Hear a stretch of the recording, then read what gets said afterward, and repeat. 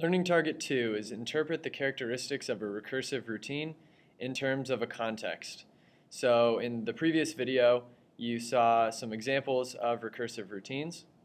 Uh, one of those examples was um, an example with an elevator um, and it had different floor numbers um, and then the height above ground as you go to a different floor.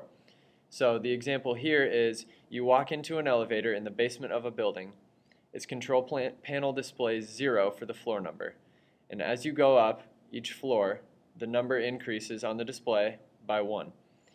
Um, the elevator rises 13 feet then each time you go up a floor. Um, so this graph here shows how you start down here at floor 0 um, in the basement below ground level. You go up a floor and you go up 13 feet. Go up another floor, you go up 13 more feet. Okay. So this is a recursive relationship.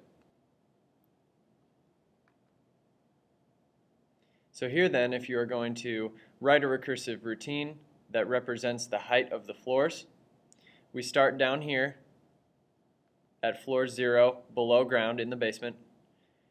We start at negative four feet because we are in the basement. So we'll have a start of negative four and then each time you go up a floor, you go up 13 feet.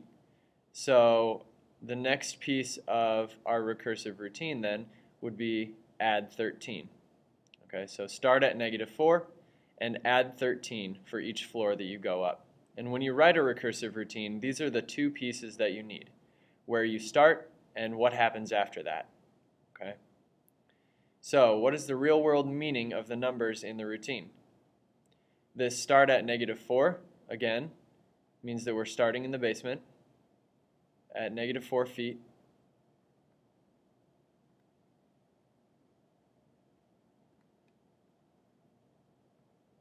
So we start 4 feet below ground level.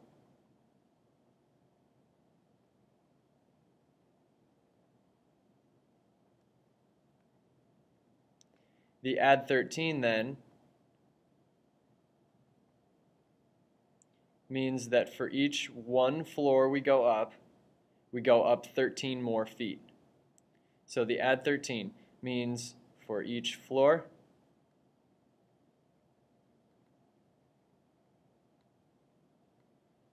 we rise 13 feet. Okay. How are these numbers in the routine represented in the graph then? This number over here that's already circled. This is our start point. Okay, so our start is 0, comma, negative 4. The zeroth floor, and it's 4 feet below ground. Then for each one floor that we go up, the height increases by 11. So as x increases by 1. Y increases, or the height, oops, increases by 13. Okay. Um, and this is this is what's called a linear relationship. Okay, linear relationship is one that you can represent with a straight line graph. So if you look back at this one, those points on this graph do indeed make a straight line. So it's linear. It's also characterized by a constant rate of change. So in the previous example there, we had add 13, and that was for each floor. So for each one floor that you go up, you go up 13 more feet, and so it has a constant rate of change. All right. So for next time, um, we'd like you to look at this graph on the left. Um, it models the a student's distance from class over time. So the distance starts up here, that's how far they are from class. Then over time, what happens to their distance? So write a recursive routine that represents that. Um, tell me what it means in, in terms of the real world context. And then how are these numbers represented in the graph? Where do you see each piece of the recursive routine?